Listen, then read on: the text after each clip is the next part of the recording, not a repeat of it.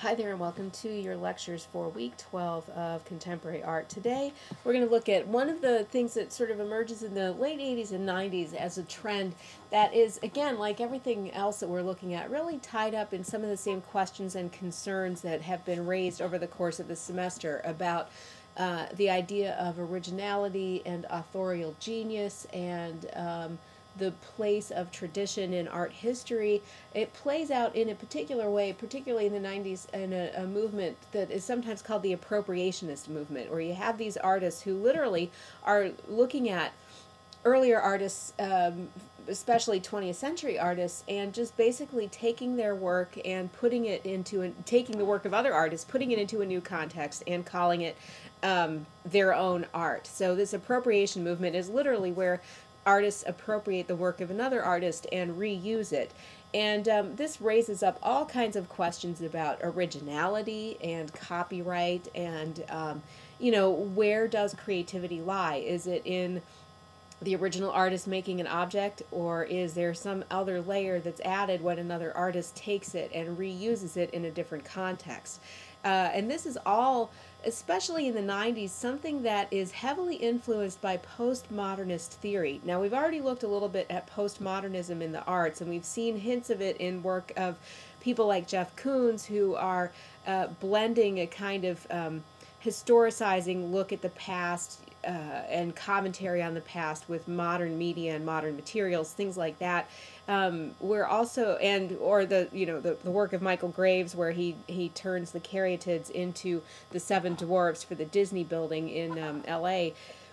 Now we're seeing it also in a more theoretical way in the work of these artists in the 90s, particularly um, in the work of an artist named Sherrie Levine. Sherrie Levine starts out doing stuff in the 70s. Here she's got a, a, photo collage where she's appropriated, basically, this is advertising photography images that she's cut into, and so she's appropriated that. She's appropriated the, um, the profile of Lincoln from the penny, and she's combined these together into this um, untitled collage, which obviously has some implicit commentary going on.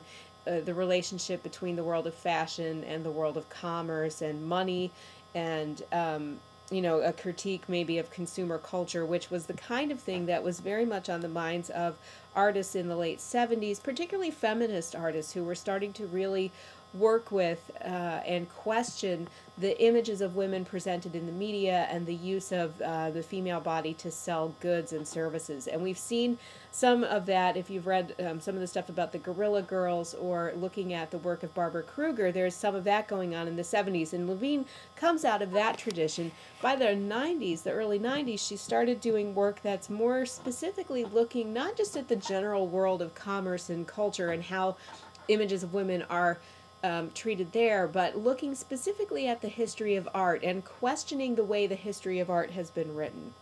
So, for example, by the late 70s and then into the 80s and 90s, she's doing these works where she takes the work of other photographers, and in this one, it's Walker Evans, a very famous photographer from the Depression era. She basically takes photographs of Walker Evans and makes photographs of them and calls her prints untitled in this case after Walker Evans and you know makes herself the author of this photograph of a photograph. Now, I mean, this is the kind of thing that drives people nuts. You know, this is the kind of thing that makes people just go crazy when they're looking at the the world of art. But what she's doing here is not just trying to take the easy way out and, you know, get her work into galleries, but she's actually doing something where I mean the concept is what's most important to her, right? The the kind of raising the issue of what is the art object and what is the artist's creativity, and really kind of trying to challenge the whole idea of artist with a capital A as this special um, genius who has a particularly um, unique and singular vision. That is something that we're used to thinking of really through since the Renaissance period. That has been our model of thinking about um, art and artistic creativity. But she wants to upend that a little bit. And let me read, let's see. Here's a quote from Sherrie Levine. She says she likes to make try to make art, and I'm quoting her here, which celebrates doubt and uncertainty, which provokes answers but doesn't give them, which withholds absolute meaning by incorporating parasite meanings. which suspends meaning while perpetually dispatching you toward interpretation, urging you beyond dogmatism, beyond doctrine, beyond ideology, beyond authority. And that's really key here. What she's trying to do is to raise questions about the image, right? I mean, after all, when Walker Evans created this image, the woman who's actually represented in this photograph, the subject of the image, Abby May Burroughs, um, she doesn't get credited for being a collaborative part of the photograph. She doesn't get fame and fortune. She just gets re represented as an, an image. Um, so where, you know, who's taking the image, who has the right, who's the author, who's the authority here. Uh, I've got a link in this week, I believe it is, to a website which is called After Sherrie Levine, where um, somebody has scanned a photograph, um, I think it's after Walker Evans, by Sherrie Levine and then has put it up on the web and now that website is raising the same sets of questions. Well, I've taken this and you know, is this Sherrie Levine's now or does this belong to me? Is there anybody who really is the author, quote unquote, of this photograph? Now, she's also referencing the idea of artistic tradition because the photographers who she also does um, photographs after um, Edward Weston, another mid-century photographer who's quite important and famous. Um, and what critics have said is, well, she's, you know, she's borrowing from these guys just the way that they borrowed their forms and their composition from people who came before them. So just because hers is more obvious doesn't mean that it's any more um, uncreative, right? Or I mean, this is this is all um, just replicating the same kind of activity that Weston and Walker were themselves engaged in. So she's um, a copy, making a copy of a copy of a copy, essentially.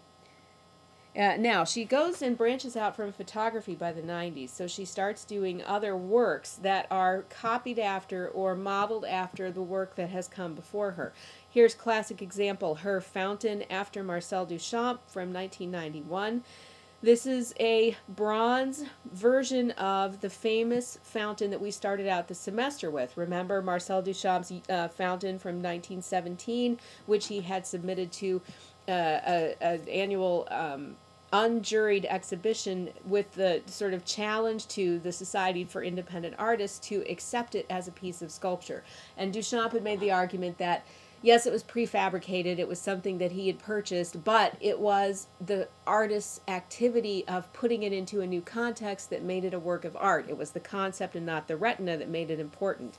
Now, here is Levine coming along after Duchamp and saying, um, you know, this is my work of art. It's a um, sculpture after the work of Marcel Duchamp. And here you will notice that it's not a literal copy. I mean, it's not a cast of the actual fountain of Marcel Duchamp. It is not an actual urinal that she's purchased and put on its side. It's a bronze replica, right? So she's made it into a kind of um, the, the sort of classic material of sculpture going back to the ancient Greeks, right? She's taken it from its mass-produced um, porcelain utilitarian functional plumbing context that was Marcel Duchamp's radical innovation to put it in the uh, museum, now Sherrie Levine has taken the actual shape itself and then turned it into, and taken that mass produced object, and then she's made a version that's actually a um, high end art object in the media and materials that are associated with the history of sculpture in the West.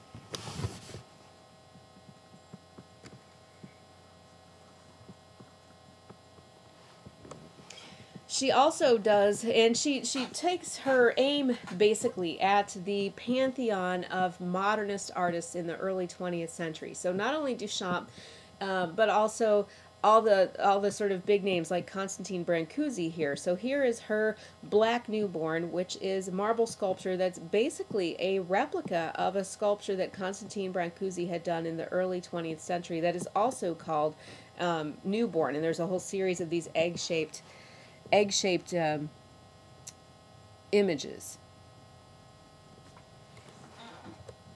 So there's on the left Brancusi's newborn, and he did series uh, versions in white and versions in um, black.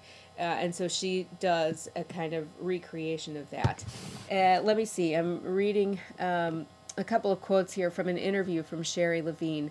She says, um, you know, in the whole history of art, uh, one of the things that had really been true until the early 20th century was, um, you know, artists would use the same stock imagery in creating, for example, altarpieces in the Renaissance, things like that. Um, let's see. She says also, so much of our sense of art history is based on copies, fakes, and forgeries. Um, entire museum collections, she says, are forgeries. And she also says, uh, oh, yeah, okay, also why she chooses to do a lot of um, appropriating of the work of male artists. A lot of what my work has been about since the beginning has been realizing the difficulties of situating myself in the art world as a woman because the art world is so much an arena for the celebration of male desire. And that is, again, a very typical kind of feminist critique of the history of art in the West that so much of art is about looking at the nude female form or making women into the objects of art rather than um, active creating subjects in art. Another artist who emerges in the 80s and then in the 90s as an appropriationist who is also really kind of taking on the 20th century masters and recreating them and then kind of calling into question the whole notion of originality. Um, because one of the things in this case that Mike Bidlo does is he does such good copies of these masterpiece paintings. They're so spot on that you start to wonder what was so creative or so original about the original work. And here I'm just showing you one example of his uh, of the, the, kind of work that he does. This is from the 80s. This is called Not Picasso. It is a copy. If you've taken 20th century European art, you'll recognize this. Uh, or if you've taken A110, the, a copy of one of Picasso's most famous paintings at the beginning of Cubism, Demoiselle d'Avignon from 1984. Uh, and here's an installation of Bidlo's uh, in Bidlo's studio where he has done copies of some of the most famous paintings and painters of the 20th century. So we have there uh, Joan Miro uh, at the bottom left. Behind there, you might recognize from all the broken crockery, this is a copy of, and here, this is a guy who's doing these copies right after the originals are done. The back left broken crockery painting is a Julian Schnabel painting, or Schnabel, excuse me, Julian Schnabel painting. The woman in the center holding the red pillar is um, a, Fernand Léger. Uh, then there's the, the painting of the before and after nose job. It's an Andy Warhol. Uh, should recognize um, the Brancusi sculpture. You should recognize the bicycle wheel of Marcel Duchamp. And then on the back right there is a copy after Jackson Pollock. Uh, and so this has been Mike Bidlo's project is to take all of these um, landmarks of the 20th century and then recreate them himself. And again, by doing this and doing such spot on copies, he is kind of challenging the notion of the uniqueness of an individual artist's hand, um, calling into question the whole idea of the absolute originality and sacredness of the singular work of art. These are postmodernist ideas that come from. Um, really theory and critical writing that was being done in academic circles in um, in uh, literature, for example, and your uh, reading on postmodernism has a good sort of explanation of the history of this. So it's a sort of theoretical idea or a philosophy, if you will, postmodernism that you see in art manifested concretely in a number of different ways. And one of the ways is this kind of copying from the art of the past with the idea of questioning or calling into question the whole notion of originality and artistic uniqueness even Jackson Pollock really comes under um, uh, under fire by from Mike Bidlo, where Bidlo does a whole series. Um, uh, that's both performance and painting, where he mimics the original or the paintings of Jackson Pollock and does this whole performance where he even recreates a very famous event that is supposed to have happened at Peggy Guggenheim's apartment. Peggy Guggenheim was a major collector of 20th century art and a huge patron of Jackson Pollock's, and in fact commissioned him to do a mural in her house, and was a real tastemaker for collectors in the 20th century, a little bit like Charles Saatchi has been in the last 15 years.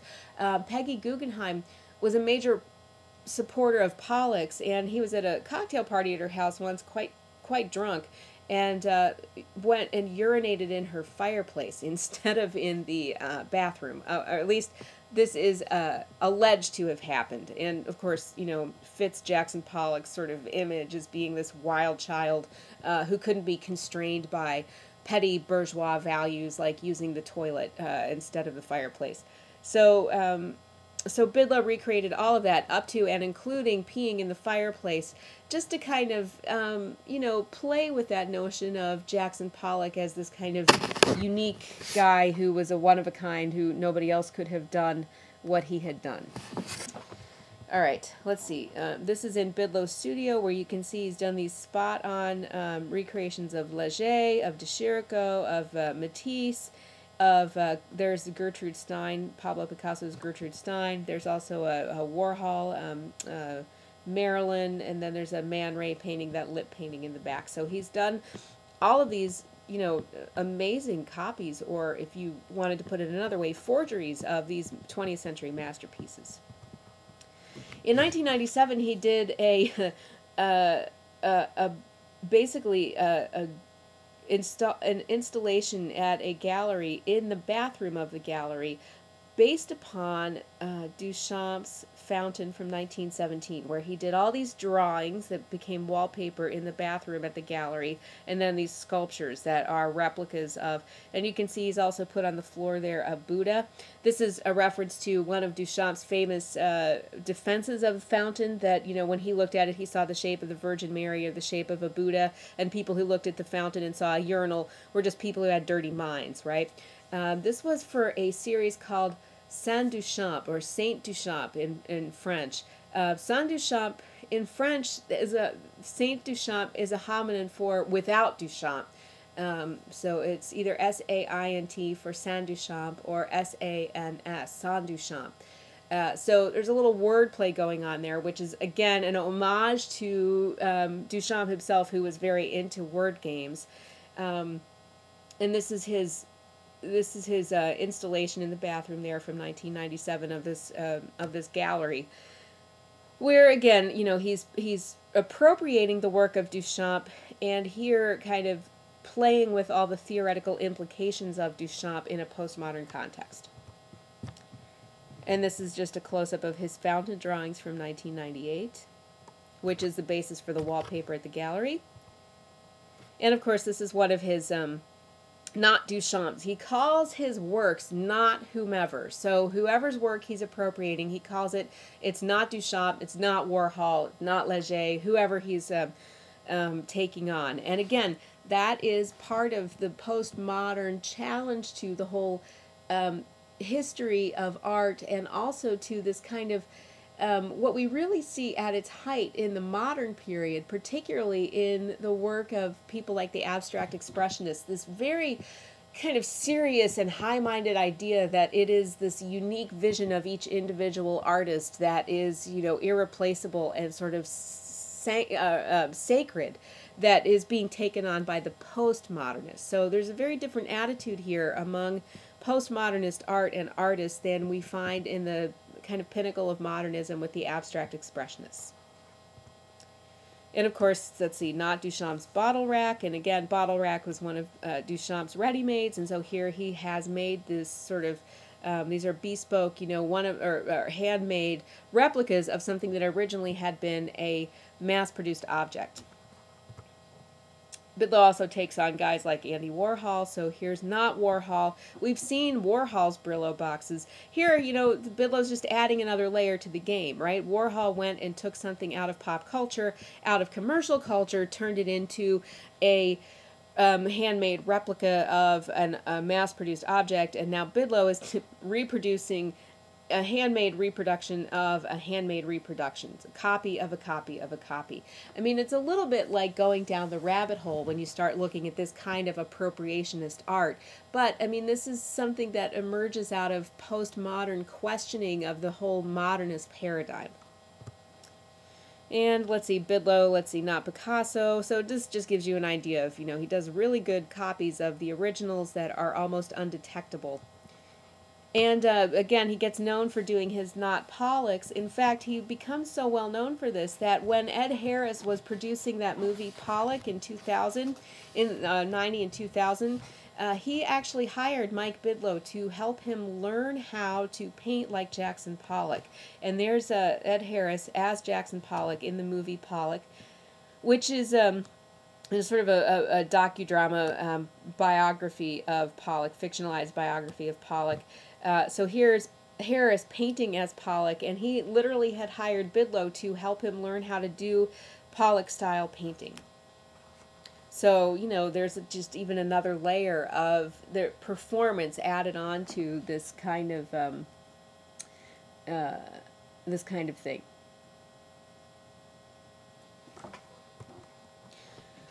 Let's see, another artist who really is an appropriationist and a postmodernist is this guy, Mark Tansey. This is his purity test from 1982. And if you look closely at the painting, towards the middle distance there, you'll see what he has appropriated from another artist. That is, of course, Robert Smithson's Spiral Jetty out there in the Great Salt Lake in Utah. Now, Tansey and there's a whole series of his paintings available from a link online. I'm just going to talk about this one because I think it gives you a little window into um, the kind of work that he does.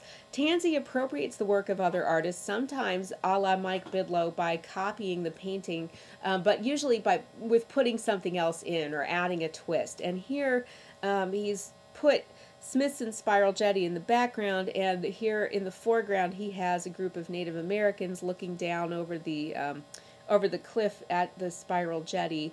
Now, one of the things that is interesting about Tansey is his parents are both actually art historians, and so he grew up being very conscious of the whole history of art, and that really seems to play out in his work, which is partly dealing with questions of, of um, you know, authorship and uh, and questions of um, you know, artistic genius and artistic authority. And partly, like in this painting, I mean, there's something interesting going on here. Purity test, that title could suggest a number of things. Uh, and what scholars have pointed out is, you know, Smithson said his direct inspiration for Spiral Jetty was actually the mound builders of the Ohio region and particularly the Great Serpent Mound. And you can really see that when you see the spiral in the tail of the Great Serpent Mound. So, are these Native Americans looking down at Spiral Jetty and giving it a purity test for how pure its um, you know relationship to Native American culture is? Are these Native Americans the are they purely Native Americans so that they are the subjects of the purity test? Unclear exactly where Tansey puts the purity test um, in, but I mean this is part of what he's trying to do is raise questions about art and about artistic genius and creativity. Uh, you know, was or was Smithson's um, work pure in its you know lack of reference? Right? I mean. Um, I hope you see what I'm getting at here. So Tansey's raising all these questions about Smithson, raising questions about originality and uh, and influence and things like that and you'll see more of his work online. He's particularly interesting as a postmodernist artist who is challenging the history of art and um, and doing works that are raising questions about the idea of genius and originality. Another kind of appropriation starts to happen in the 1990s, in particular with artists like Fred Wilson. Uh, part of postmodernism is to raise questions about and to challenge the whole idea of authorial genius and um, artistic originality. And another part of postmodernism is um, incorporating some of the other things that we have been reading about, like identity politics or like um, post colonial theory. Now, Fred Wilson is an artist who's African American, and he has taken as part of his kind of you know working um, philosophy is to really look not so much at art history but the history of museums and museum display because that is something that is actually quite tied up with identity politics. Uh, case in point, a recent installation that Fred Wilson did was he went into um, oh, I think it was a museum in San Francisco, and he changed the wall labels in the European galleries to read, instead of saying, you know, this is a painting that's oil on canvas, he labeled them all painted textiles. Which makes sense because, of course, canvas is painted fabric, right?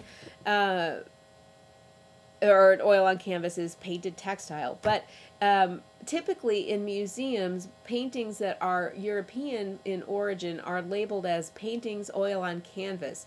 If it were a Native American painting on an animal skin, or if it were an African woven textile or um, textile that had been painted on, it would be labeled, uh, or fabric that had been painted for some reason, it would be labeled painted textile.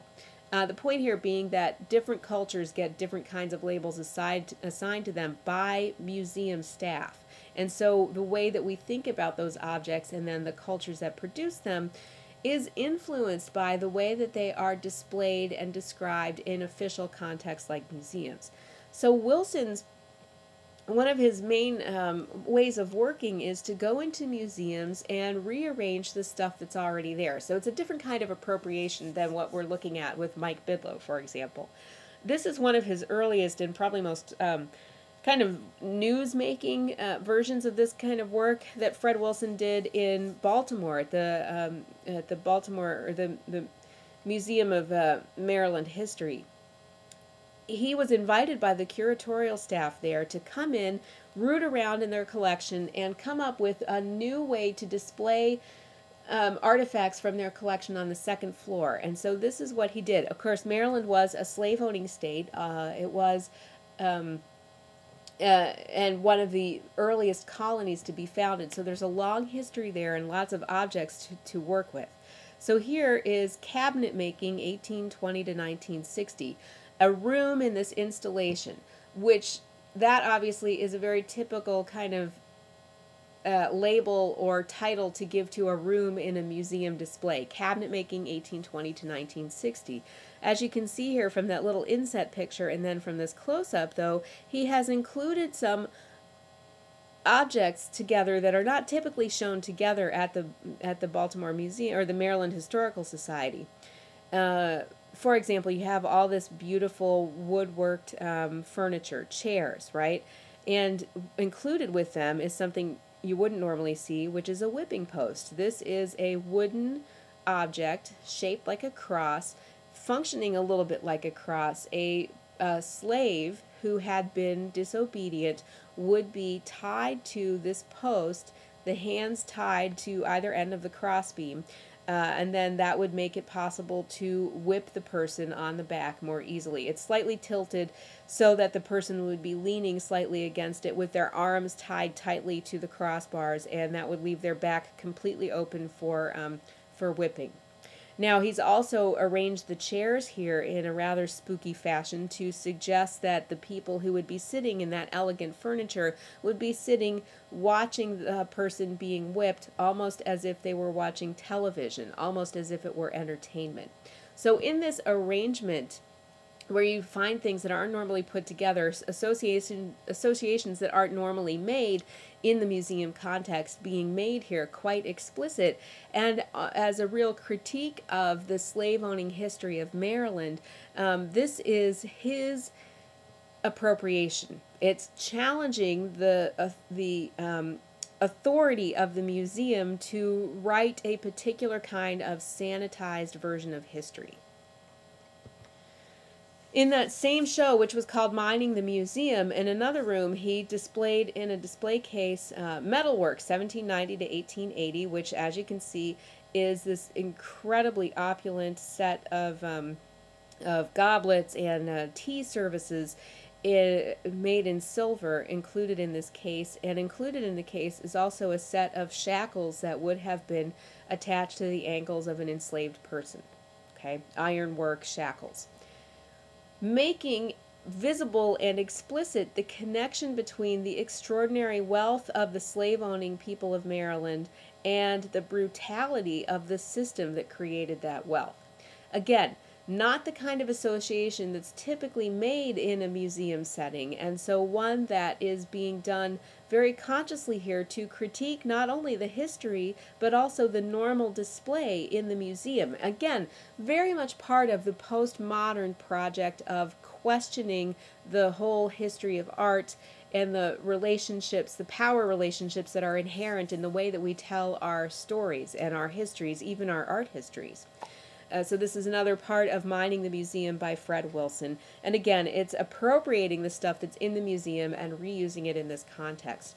That show was a very interesting show. I mean, it's been 16 years now since it was done. The Maryland Historical Society kept a visitors book and they uh, let people write in, you know, their comments and um, lots of just really emotional responses to a show like this. You know, it really was um, some people really loved it and felt that it was, you know, about time that some of these issues were addressed. Some people felt like the past is the past and, you know, let sleeping dogs lie.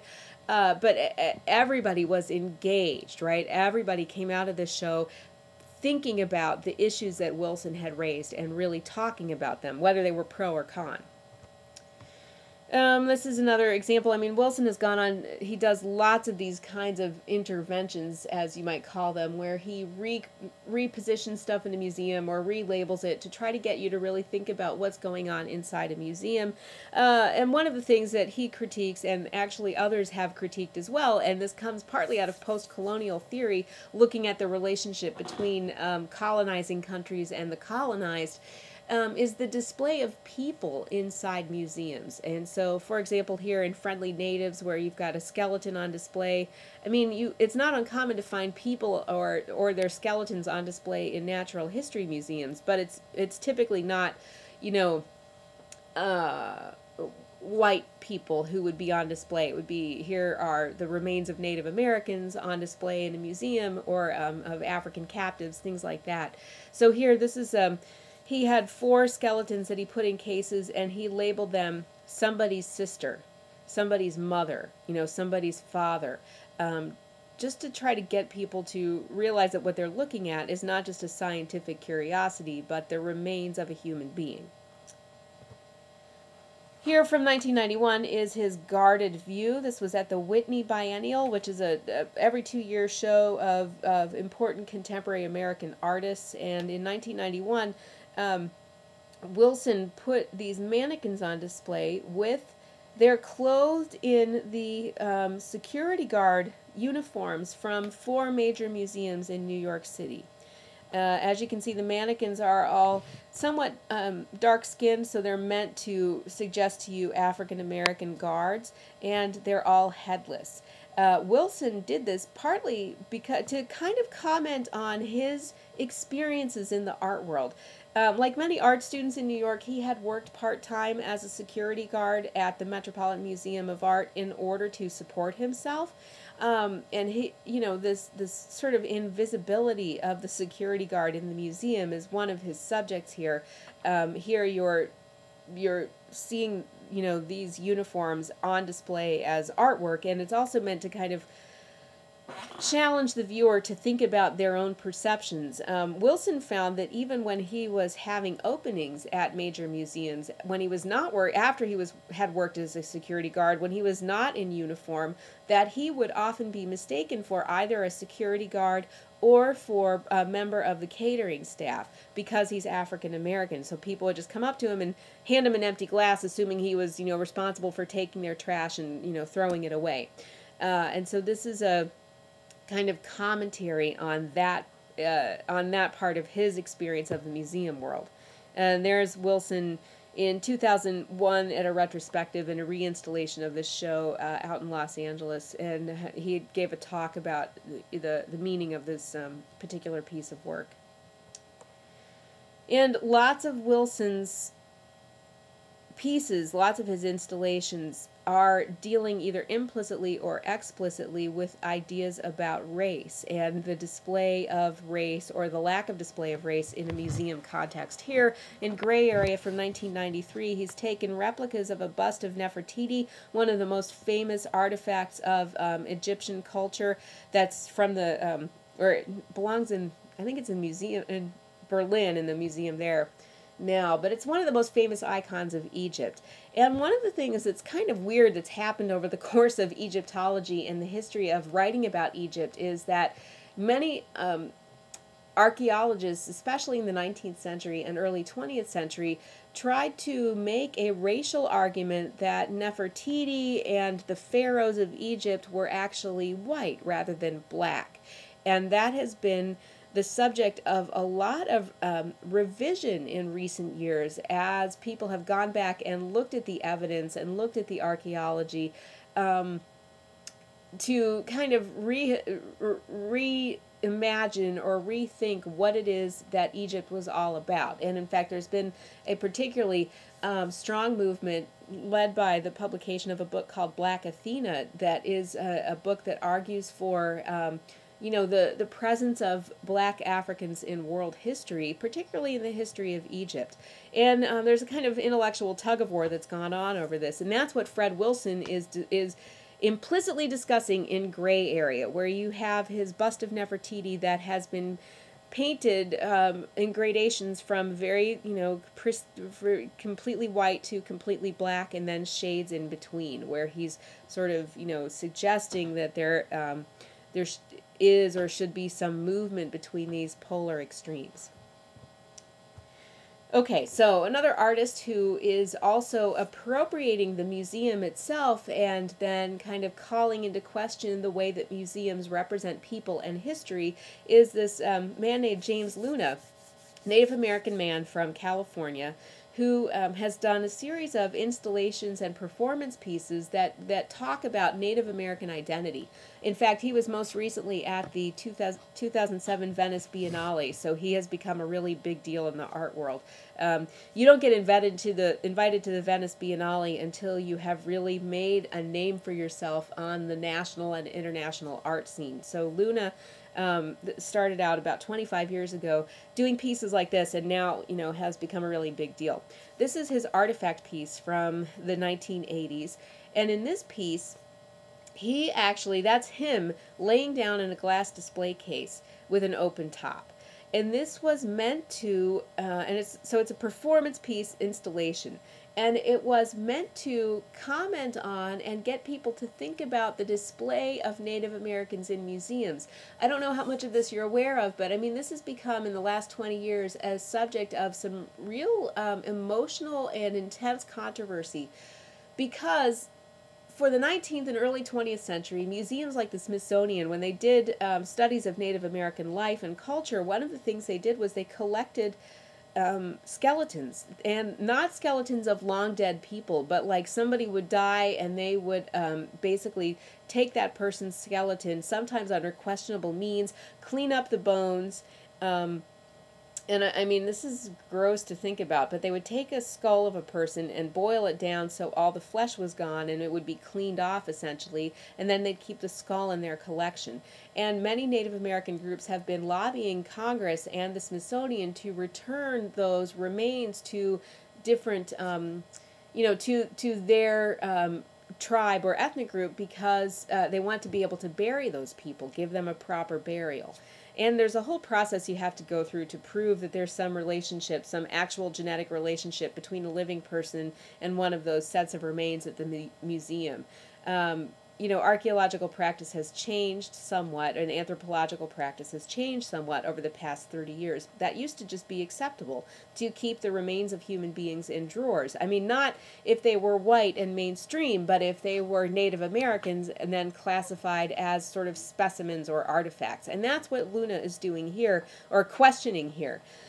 Um, the the story goes that you know he would lay there for eight hours a day, taking a few breaks, but laying there, and he had um, several labels you can just barely see them here in the display case with him and so the labels say things like you know here are signs of diabetes diabetes is a, a disease that um, disproportionately affects affects the Native American population, or you know, early signs of alcoholism.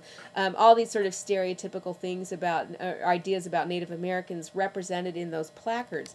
The idea was that people would come through this exhibit they would be looking at um, you know this display and talking to each other about this display. Oh wow yeah he really looks like and you know he's got um, i don't know early cirrhosis or whatever.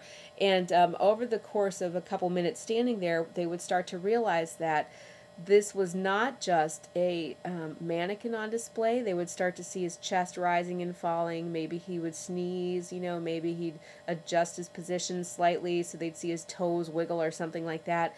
And it would make them become aware that the subject, the thing they were talking about as an object, was hearing everything they said.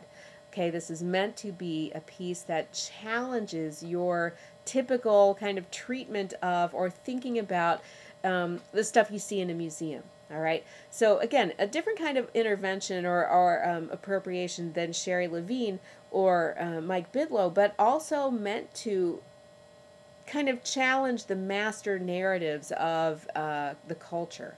Um, so again, part of taking part of um, part in postmodernist theory, and then just with a slightly different focus. Um, James Luna has continued to do these kinds of pieces, and again, I mean, there's interesting stuff in this because, of course, taking uh, going all the way back to Duchamp saying the viewer completes the work of art. I mean, Luna's pieces require an audience to really start to make sense, to really become, you know, the full thing that they are. This is Luna's Take a Picture with a Real Indian, a performance piece he's done in several locations in the last 15 years. Uh, what you can see there are on the right are three cutout life-size photographs of James Luna dressed up in different costumes. Um, a loincloth, then a sort of stereotypical Plains Indian getup, and then uh, in modern dress.